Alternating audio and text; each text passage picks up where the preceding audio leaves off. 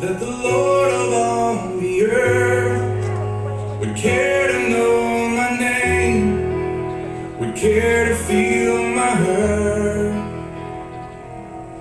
Who am I that the bright and morning star would choose to lie?